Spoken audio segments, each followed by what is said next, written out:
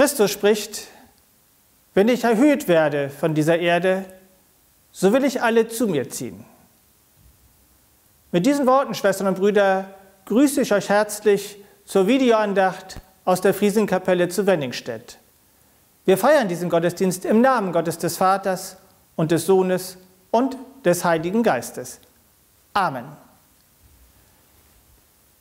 Wenn ich erhöht werde, dann will ich euch alle zu mir ziehen. Wenn das geschieht, dann brauchen wir uns tatsächlich keine Sorgen mehr zu machen. Wir sind dann allem Irdischen enthoben. An anderer Stelle sagt Jesus, sorget nicht. Was das in diesen Zeiten bedeutet, gerade jetzt auf Sylt, was es bedeuten kann und wie man es missverstehen kann, dazu werden Pastor Hartung und ich in diesem Gottesdienst eine Predigt halten. Ich wünsche uns allen einen gesegneten Sonntag. Amen.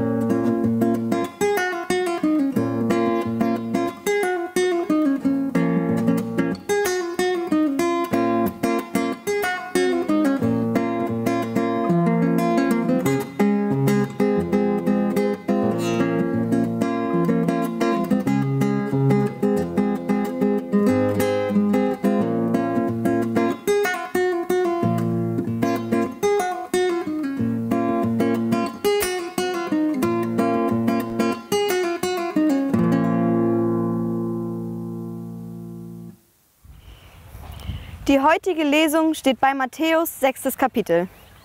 Deshalb sage ich euch, sorgt euch nicht um Essen und Trinken zum Leben und um die Kleidung für den Körper. Das Leben ist doch viel wichtiger als die Nahrung und der Körper wichtiger als die Kleidung. Schaut euch die Vögel an. Sie säen nicht, sie ernten nicht und haben auch keine Vorratsräume. Und euer himmlischer Vater ernährt sie doch. Und ihr? Ihr seid doch viel mehr wert als diese Vögel. Wer von euch kann sich denn durch Sorgen das Leben auch nur einen Tag verlängern? Und warum macht ihr euch Sorgen um die Kleidung? Seht euch an, wie die Lilien wachsen. Sie strengen sich dabei nicht an und müssen sich auch nichts nähen. Doch ich sage euch, selbst Salomon war in all seiner Pracht nicht so schön gekleidet wie eine von ihnen. Wenn Gott sogar die Feldblumen, die heute blühen und morgen ins Feuer geworfen werden, so schön kleidet, wie viel mehr wird er sich dann um euch kümmern, ihr Kleingläubigen? Macht euch also keine Sorgen. Fragt nicht, was sollen wir essen? Was sollen wir trinken? Was sollen wir anziehen? Denn damit plagen sich die Menschen dieser Welt herum. Euer Vater weiß doch, dass ihr das alles braucht. Euch soll es zuerst um Gottes Reich und um seine Gerechtigkeit gehen. Dann wird er euch alles Übrige dazugeben. Sorgt euch also nicht um das, was morgen sein wird, denn der Tag morgen wird für sich selbst sorgen. Die Plagen von heute sind für heute genug. Halleluja.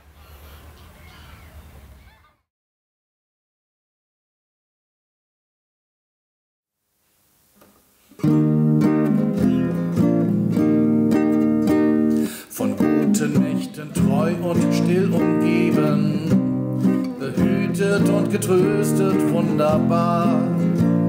So will ich diese Tage mit euch leben und mit euch gehen in ein neues Jahr.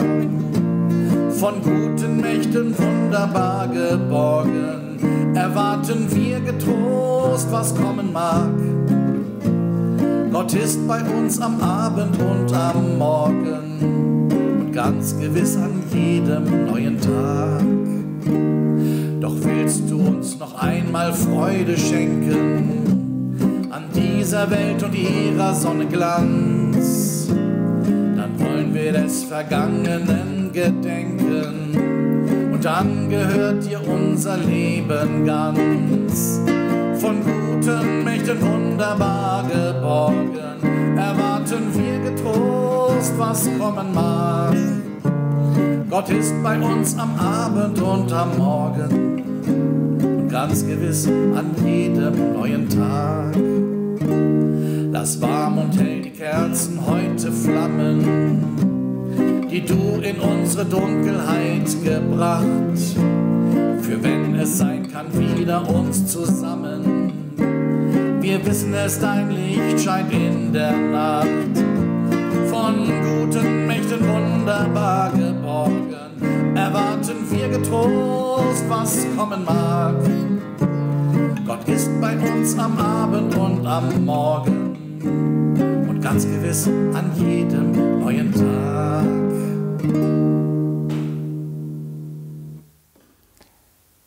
Die Liebe Gottes und die Gnade Jesu Christi und die Gemeinschaft des Heiligen Geistes sei mit euch ein.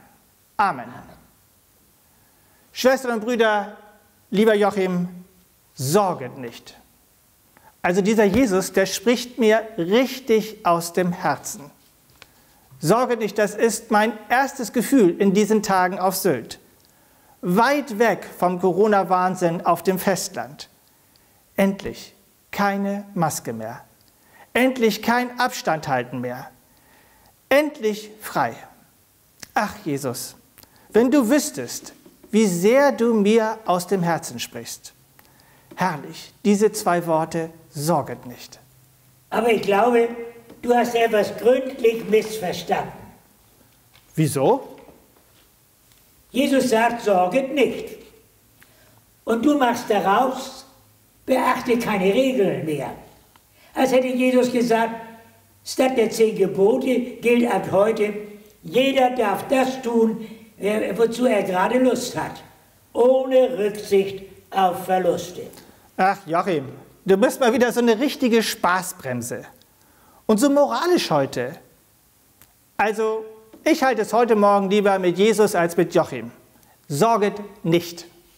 Nicht ich bin die Spaßbremse, sondern einfach unsere Zeit mit diesem fiesen Virus, die zwingt uns dazu, auf Spaß zu verzichten. Also ehrlich, ich habe da so überhaupt keine Lust mehr zu. Ständig dieses Du darfst nicht, du sollst das lassen und du sollst dich an jene Regel halten. Und vielleicht gibt es ja dieses Virus auch gar nicht, wer weiß das schon. Hör auf Jesus. Jeder Tag hat seine eigene Sorge. Und deshalb lasst uns heute mal so richtig leben. Morgen ist dann ein neuer Tag. Und vielleicht sind wir morgen schon wieder auf dem Festland. Und dann können wir meinetwegen wieder nach deinen Regeln leben. Aber du hör mal, lieber Rainer, das sind nicht meine Regeln. So wie du hier da redest, äh, halte lieber noch einen Meter weiter Abstand von mir. Das wäre vielleicht besser. Auch ich beherzige, so gut ich es kann, die Worte Jesu. Sorget nicht. Gerade in dieser Zeit. Und das ist manchmal schwer, dass mit die Sorge, krank zu werden. Und das gerade in meinem Alter. Oder die Sorge bei den Jüngeren, keine Arbeit mehr zu haben. Sich nicht mehr alle die gewohnten Sachen leisten zu können. Oder plötzlich die Kredite nicht mehr abzahlen zu können. Und Jesus sagt, die Sorgen sollen dich nicht erdrücken. Er sagt aber auch ganz deutlich, um deinen Nächsten sollst du dich sehr wohl sorgen. Da würde ich dir natürlich nie widersprechen. Wenn du aber aus dem Sorgen nicht ein Leben nach Lust und Laune machst, dann ist das einfach nur rücksichtslos. Aber du bist ja heute richtig wütend. Nee, nee, ich bin nicht wütend. Das meinst du vielleicht. Sondern ich ärgere mich einfach darüber, dass du den Sinn von den Worten Jesu verdrehst. Also das würde mir nie einfallen. Findest du etwa, ich bin rücksichtslos? Ja, eigentlich nicht. Ja, aber wenn ich jetzt so mal einfach jetzt dich so höre und wenn du in diesen Zeiten dann auch einfach so mal schnell ohne Mundschutz in den Laden gehst und ein paar Brötchen holst oder eben mit der ganzen Familie in einen Supermarkt oder eine Gärtnerei gehst und dich da einfach so durch das Gedränge hindurchdrängst und ständig lautstark deine Freude oder dein Unmut mit feuchter Aussprache verkündigst, weißt du, dann ist das unangenehm und für manche womöglich auch gefährlich. Also du meinst, ich sollte mehr sorgen? Auf jeden Fall mehr Sorgfalt in deine Gedanken, in deine Worte und äh, in deine Handlungen bringen. Joachim, du bist aber ganz schön streng heute. Ich sorge mich nämlich tatsächlich. Also das will ich nicht. Habe ich dich etwa in Angst versetzt? Nein, aber ich sorge mich um Rücksicht und Respekt, um Anstand in diesen Zeiten. Aber ich höre auch auf Jesus. Der sagt, sagt die, lass die Sorge nicht zur Furcht vor dem morgigen Tag werden, dass sie dich erdrückt und dir dann auch noch den Schlaf raubt. Also, nun sag mal ganz klar, was ist nun mit Jesu Worten, sorget nicht? Ich dachte, er sagt uns, lebt frei. Ja, da hast du recht, das sagt er. Lebt frei, aber von Angst. Aber die Grenze der Freiheit ist dabei immer unser Nächster. Tu nichts, was ihn verletzt und in seiner Freiheit einschränkt. Das finde ich auch, da gebe ich dir recht. Sorget nicht, wenn du es jetzt mal falsch verstehst, dann wird es zu einer Versuchung Gottes. Wenn wir nämlich gedankenlos nach unserem Gefühl so leben oder auch dann, wenn wir uns um unser Leben nicht mehr kümmern und uns so die Hände einfach in den Schoß legen und nichts mehr tun. Das ist ja nun noch mal ein ganz neuer Gedanke, dass man einfach faul wird und sich nicht um sein Leben kümmert. Ja, für mich gehört zum Leben einfach die Vorsorge und die Fürsorge. Du meinst, man soll im Leben etwas tun und auch ein bisschen planen, so wie Josef in der Bibel, der vorausschauend in den sieben fetten Jahren Scheunen baute. Ja, und der dann die Ägypter in den sieben mageren Jahren rettete und dazu auch seine elf Brüder. Okay, Joachim, das ist menschliche Erfahrung. Wir können nicht leben, ohne zu planen und ohne uns Gedanken zu machen. Und doch ist es so, dass Jesus sagt, wir sollen aufrechte und freie Menschen werden, weil Gott uns zu diesen freien Wesen geschaffen hat. Deshalb sollen wir auch nicht nur auf das Irdische schauen, sondern immer auch unseren Blick in den Himmel heben. Da können wir dann unsere Sorgen lassen. Ja, da hast du recht. Denn auch Jesus weist uns auf die Vögel hin, die da ganz sorglos fliegen. Aber wir starren oft immer nach unten auf die Probleme und die uns gefangen nehmen und noch weiter nach unten runterziehen. Aber der Blick nach oben zu Gott, zu dem Jesus uns einlädt, der macht uns wirklich frei. So schön wie du das sagst, Joachim, klingt das, als wäre es aus einem Märchen. Ja, stimmt. Ich denke da an die Geschichte von dem tapferen Schneiderlein. Das tapfere Schneiderlein begegnet einem Riesen, der einen Stein hochwirft. Und der Stein kommt dann auf die Erde wieder zurück. Das Schneiderlein aber lässt einen Vogel aus dem Käfig fliegen. Und der kommt nicht wieder zurück, sondern der freut sich über die Freiheit. Und sieht, so ist es auch mit unseren Sorgen. Wenn wir sie nicht auf Gott werfen, dann kommen sie immer wieder auf uns zurück und lassen uns nicht los. Das verstehe ich. Da fallen mir die Worte aus dem ersten Petrusbrief ein, sorget nicht, sondern alle Sorgen werfet auf ihn, denn er wird für euch sorgen. Und der Apostel Paulus schreibt, sorget nicht, sondern in allen Dingen lasset eure Bitten mit Gebet und Danksagung vor Gott kund werden. Und ich denke, das ist eine gute Möglichkeit, die quälenden Sorgen loszuwerden.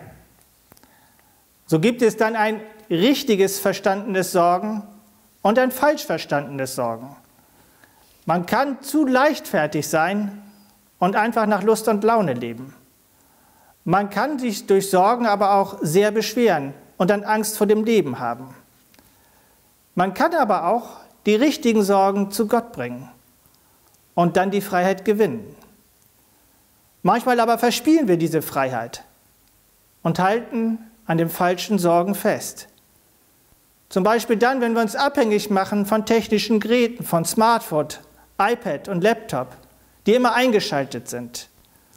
Wenn wir unentwegt Nachrichten beantworten und von außen gesteuert werden. Wenn unsere größte Sorge ist, nicht erreichbar zu sein und so im Nichts der Anonymität zu verschwinden. Aber weißt du, Gott sagt, du bist, was du bist. Nämlich einfach, weil du da bist. Ist das deine Übersetzung von Sorget nicht? Ja. Dass wir in dieser Gewissheit leben sollen, jeden Tag das Glück kennenlernen sollen, das Gott uns geschenkt hat? Ja, genau. Das tapfere Schneiderlein besiegt durch seine Sorglosigkeit und seine List Riesen und Monster und gewinnt schließlich auch noch eine Prinzessin dazu. Weißt du, im Märchen gelingt ja alles. Aber das gilt nicht für uns. Denn wir können ohne Sorge nicht leben, weil die Sorgen einfach zu unserem Leben dazugehören. Aber auch ich bleibe dabei, meine größte und wichtigste Sorge ist nicht von dieser Welt. Meine größte und wichtigste Sorge und Hoffnung ist das Reich Gottes.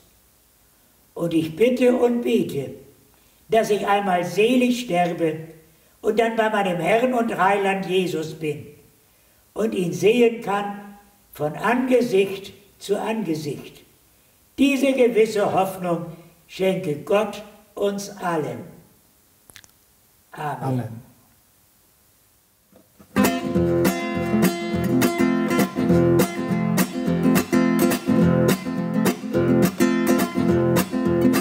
Oh, when the saints go marching in, oh, when the saints go marching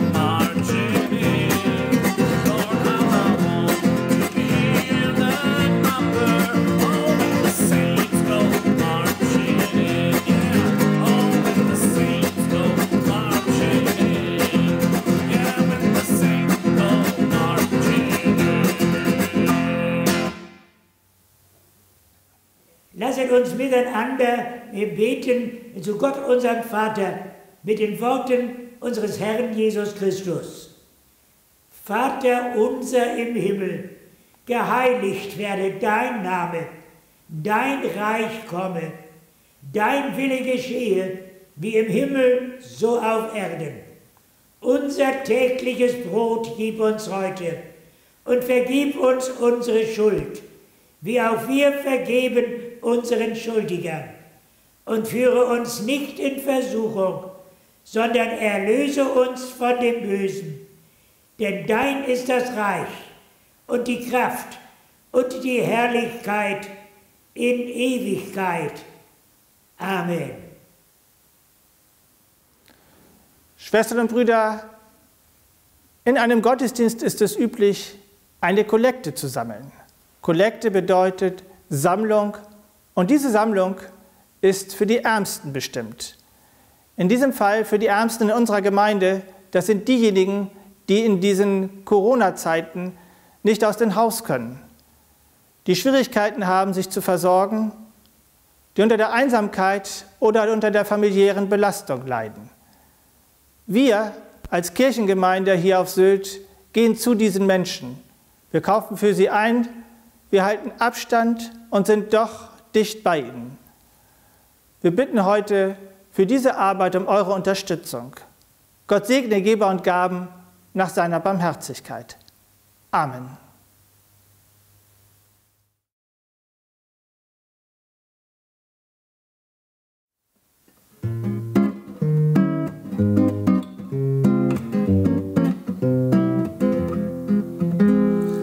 Bewahre uns Gott, behüte uns Gott, sei mit uns auf unseren Wegen, sei Quelle und Brot in Wüstennot, sei um uns mit deinem Segen, sei Quelle und Brot in Wüstennot, sei um uns mit deinem Segen.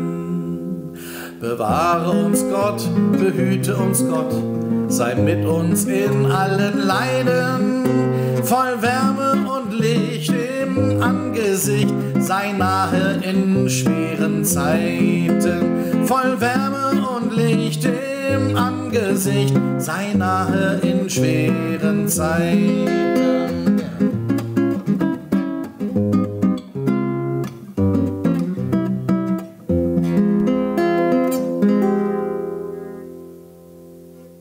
So geht hin im Frieden des Herrn mit dem Segen unseres Gottes. Der Herr segne dich und behüte dich. Der Herr lasse sein Angesicht leuchten über dir und sei dir gnädig. Der Herr erhebe sein Angesicht auf dich und gebe dir Frieden. Amen.